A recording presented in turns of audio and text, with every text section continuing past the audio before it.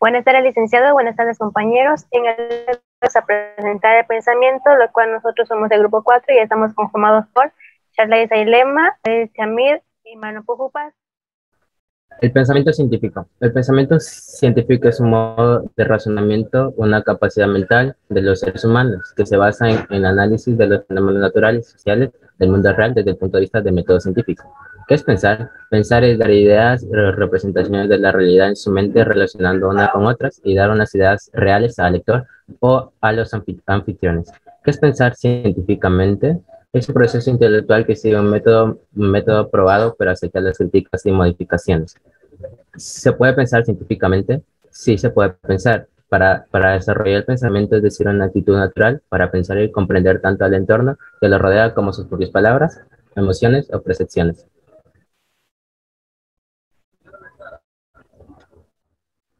Prepárate. Los seres humanos estamos continuamente produciendo diferentes pensamientos. Cada acción que realizamos casi siempre conlleva un pensamiento que decidirá, por ejemplo, si es correcto o no hacer tal cosa. Existen los pensamientos cotidianos, pero existen otro tipo de pensamientos más complejos, que es el pensamiento científico. Gracias. Colabora y construye. Entre las principales características del pensamiento científico se encuentra la objetividad, la racionalidad y la sistematicidad. ¿Qué es la objetividad? La objetividad es cuando la evidencia es clara y no es sacada de otros lados. Eh, racionalidad parte de principios y leyes científicas y la sistematicidad es el conocimiento ordenado y jerarquizado. Mario Bunge en el 2008 dice que el pensamiento científico es fático, que los hechos que analizan están dados por la realidad. Trascendente, que va más allá de los hechos. Analítico, que descompone y luego lo recompone todo. Preciso, que evita ambigüedades. Es decir, que no haya confusiones. Simbólico, para poder explicarse mejor. Es verificable, ya que es objeto de experimentación y observación. Metódico, porque tiene que planearse y organizarse. Predictivo, puede ir desde el presente y también al pasado o futuro. Abierto, porque siempre está a evolución permanente y útil porque intenta contribuir a mejorar lo que es la sociedad. Desarrollo del pensamiento científico. ¿Cuáles eran las tres características esenciales del pensamiento científico? Entre las principales características del pensamiento científico se encuentra la objetividad, la racionalidad y la sistematicidad. ¿Cómo se puede desarrollar el pensamiento científico? Como bien se dice, el desarrollo del pensamiento científico requiere el uso de la evidencia empírica, la práctica del razonamiento lógico y la capacidad de cuestionar el propio pensamiento, el sexticismo. Es decir, que para desarrollar el pensamiento lo podemos adquirir mediante preguntas o hechos de la vida diaria. Prepárate. Existen tipos diferentes de pensamientos o formas de construir el pensamiento. Y estas son deductivo, inductivo, analítico, sintético y investigativo. El deductivo es aquel que parte de una generalidad y aplica cada particularidad si se conoce todo las partes obedecerán a las leyes generales de todo. Por ejemplo, si sabemos que todos los mamíferos tienen pelo y que un caballo tiene pelo, podemos deducir que un caballo es un mamífero.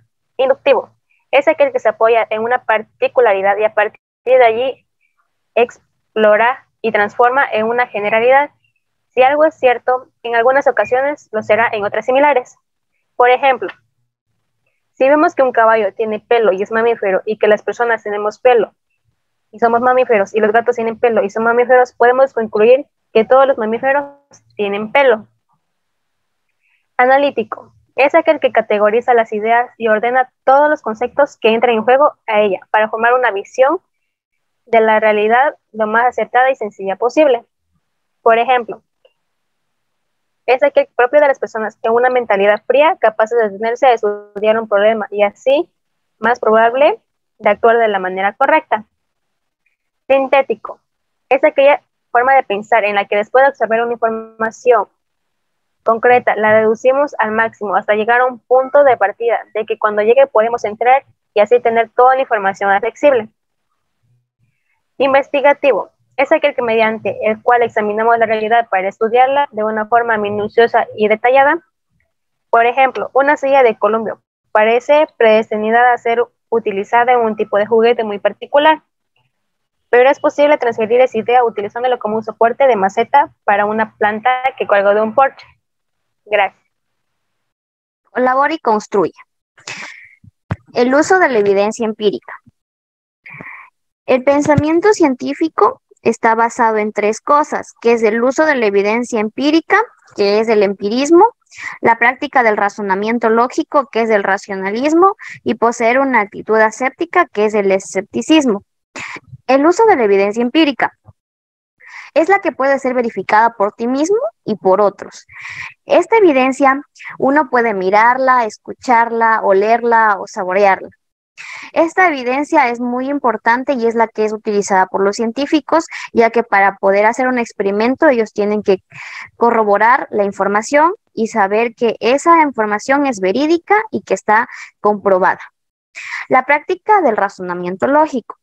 Eh, la lógica nos permite razonar correctamente.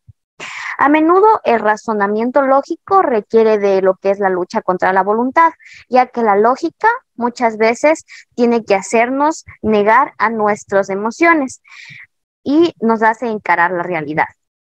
Poseer una actitud aséptica. El asepticismo es el cuestionamiento constante de tus creencias y de tus conclusiones. Eh, una manera de comprobar tus creencias con la realidad es por medio de las consecuencias o resultados lógicos, ya que de las acciones podemos saber si es que nuestra creencia es verdadera o falsa, ya que debemos que por medio de una evidencia empírica saber si lo que nosotros creemos es en verdad, ya fue comprobado o es realidad, o si no simplemente queda que esto queda una mentira, porque nuestra creencia, si no es comprobada, entonces seguirá siendo creencia de nosotros, ya que no tendrá la corroboración que es la confiable. El desarrollo del pensamiento científico requiere del uso de la evidencia empírica y la práctica de razonamiento lógico y la capacidad de cuestionar el propio pensamiento, que es el asepticismo. Muchas gracias.